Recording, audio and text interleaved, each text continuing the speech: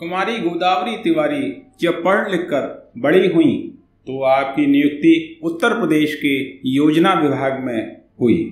एक दिन आप जब बाबा के दर्शन करने हनुमानगढ़ी नैनीताल गई, आपको देखते ही बाबा बोल उठे ये शादी नहीं करेगी?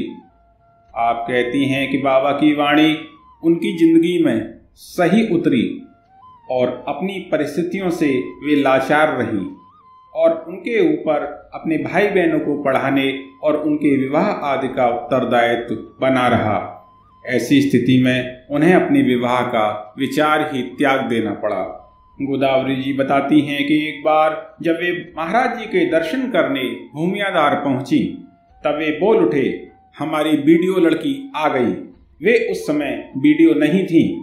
इस कारण यह बात उनकी समझ में नहीं आई। बाबा फिर बोल उठे अमेरिका मत जाना, यहीं देश में रहना और देश की सेवा करना। वहाँ जाकर अंग्रेज़ बन जाएगी।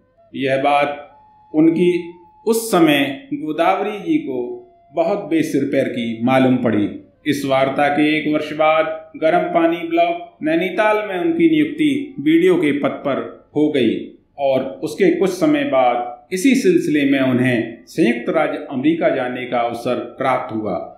तब उन्होंने बाबा की बात का स्मरण कर इसे स्वीकार नहीं किया। बोलिए, सदगुरुदेव भगवान की जय।